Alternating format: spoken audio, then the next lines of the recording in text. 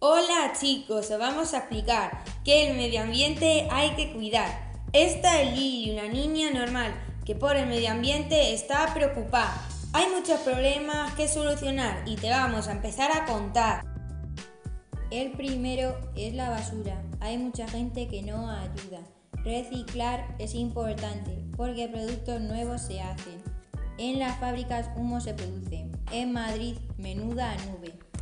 En los mares ni te cuento, todos los peces están muriendo. Además, plástico comemos porque los peces se alimentan de ello. Animales y plantas en peligro están porque los árboles van a talar. El nivel del mar cada vez asciende más y pronto los edificios alcanzará. Cambio climático afecta a todos, ayúdanos, únete a nosotros, cuida tu entorno y verás, dentro de unos años te lo agradecerá.